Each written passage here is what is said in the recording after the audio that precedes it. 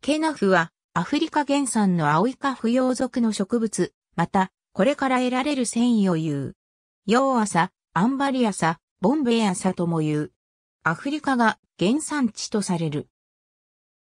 アジア、オーストラリア、北、アメリカに移入分布する。日本では全国に帰化している。一年草であるが、稀に多年草となる。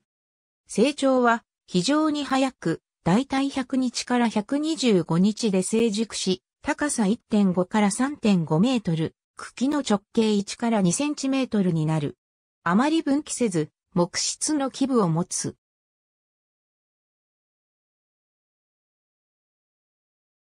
葉は長さ10から15センチメートルで、根に近い部分につくものは3から7辺に陳列するが、先端に近いものはほとんど切れ込まずやり形になる。花は直径8から15センチメートルほどで、色は白、黄色、紫がある。白や黄色、紫花の花は、中心部分は暗視色となる。果実は直径2センチメートルほどの果てで、中に数個の種子を持つ。ケナフは繊維を目的として、インド、バングラデシュ、タイ、アフリカの一部、ヨーロッパの東南部などで古くから栽培されてきた。茎からは2種類の繊維が取れ、外側の層からは目の粗いものが、中心部分からは目の細かいものが得られる。栽培品種は約200種ほどが知られ、大間の代用繊維としても多く使用されている。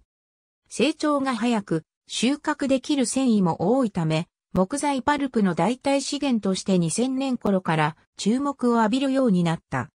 木材使用量を低減し、森林伐採が防止でき、環境に良いと評価され、日本各地の小中学校で総合的な学習の時間における環境学習として栽培されているほか、ケナフ製の名刺やナプキンが使用されるようになった。一方、茎に鋭いトゲがあって、加工に手間がかかること、地面の養分を吸い上げる力が強く連作障害があること、強い繁殖力を持つことなどの問題点もあり、聖高泡立ち草などのように一度野外に定着すると、駆除が困難になることを危惧する声もある。また、ケナフは草であるため木材に比べ腐敗しやすく、静止などの原料として長期に保存するには難しいという問題もある。なお、ケナフは成長力が大きく成長時に二酸化炭素を吸収することから、それだけで地球温暖化対策につながるかのように捉えて、学校園などで栽培をする例もあるが、成長して刈り取ったケナフを焼却してしまえば、せっかく固定した炭素も、再び環境中に戻ってしまうので、低炭素化への貢献は全くなかったことになる。ケナフを静止原料などに利用し、木材の消費をその分削減できて、初めて低炭素化に貢献したと言える。葉は朝の葉と間違えるほどよく似ているが、糖水成分は一切ない。